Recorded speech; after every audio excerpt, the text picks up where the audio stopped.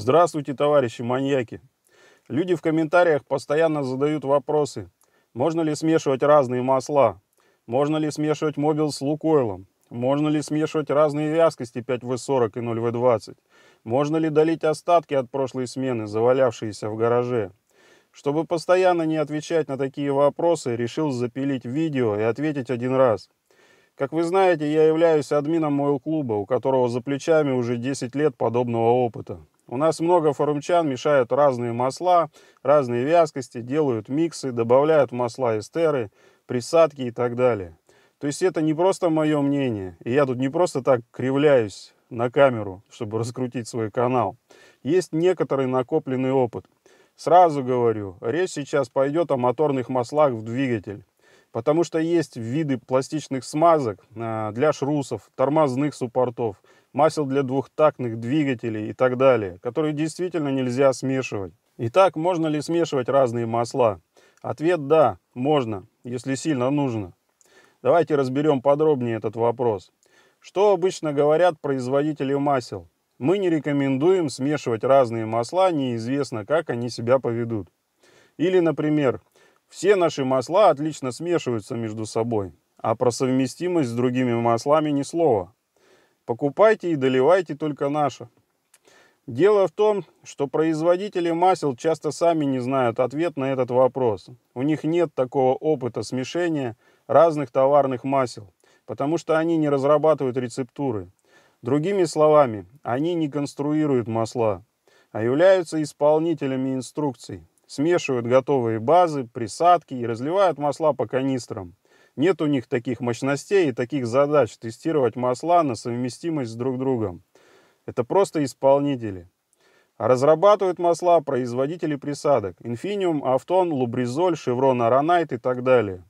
Они знают ответ на этот вопрос, но особо не распространяются на эту тему. Почему? Потому что они не могут отвечать за себя и за того парня.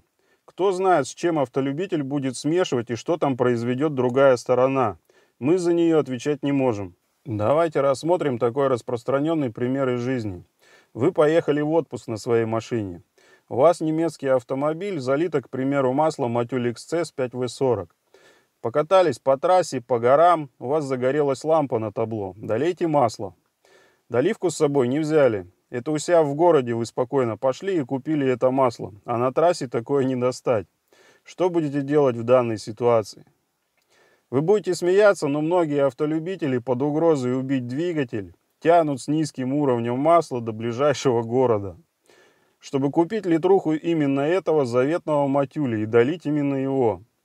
Приведу конкретный пример, вверху будет ссылка на ролик, где человек поехал с семьей в Грузию, в горах у него загорелась лампа, и он тянул еще не один десяток километров до Тбилиси, искал официального дилера Audi чтобы долить именно то заветное масло, которое залил ему дилер.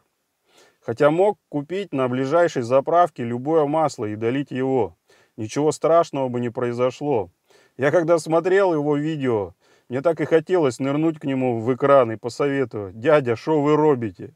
Долей любое, мотор гораздо важнее. На самом деле, заезжаете на заправку, покупаете литруху Mobil 3005 V40 и доливаете к своему французскому матюлю. И ничего никогда не случится. Почему? Да потому что это одно и то же масло от разных производителей. Они оба состоят из одного и того же гидрокрекинга третьей группы, одного и того же пакета присадок Infineum P6000 серии. Только одно масло смешали во Франции, а другое в Финляндии. В доказательство своих слов свел оба анализа этих масел, проведенных когда-то на клубе, в одну таблицу. Вы видите какую-нибудь разницу? Я нет. Это одинаковые масла. Литруха этого мобила продается на любой заправке за 500 рублей, поэтому доливайте любое масло, хоть 10 В40, хоть Лукойл. В таких ситуациях главное, чтобы масло вообще было.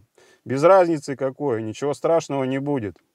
Если сильно хочется для самоуспокоения, вы всегда можете доехать до города и сменить полностью масло на то, которое хотите. Разберем еще один распространенный случай. Человек поменял масло, от прошлой замены остались остатки, которые валяются в гараже на полках. Он идет, покупает новое 4 литра, а ему надо 6 литров на смену. И пишет мне в личку, могу ли я использовать остатки старого масла той же марки. Да, конечно. Если масло лежало в закрытой таре, туда не попадала вода и пыль, почему нет? Лейте. Это сэкономит вам денег, и вы используете старые остатки. Или еще один пример. Можно ли смешивать масла разных вязкостей? Минералку, синтетику, эстеры?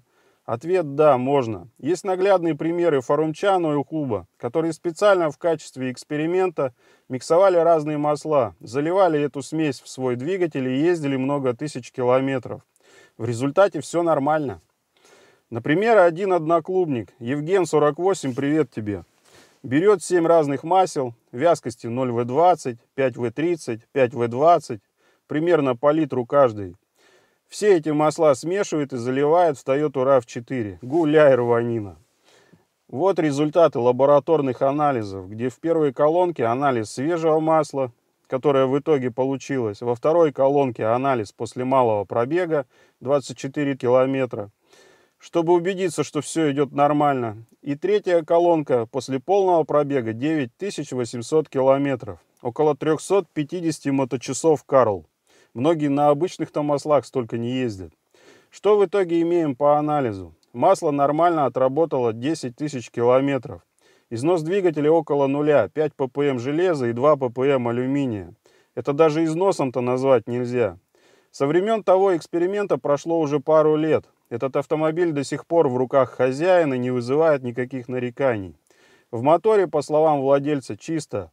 Этот двигатель постоянно мониторится анализами, все хорошо. Случилось что-нибудь страшного от того, что он смешал аж 7 разных масел и залил мотор? Нет. И таких анализов много.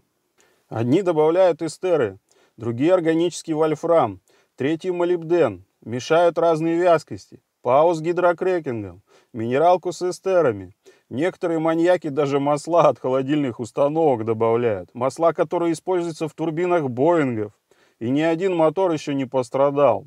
Но это не значит, что я вам советую это повторять. Просто констатирую факты.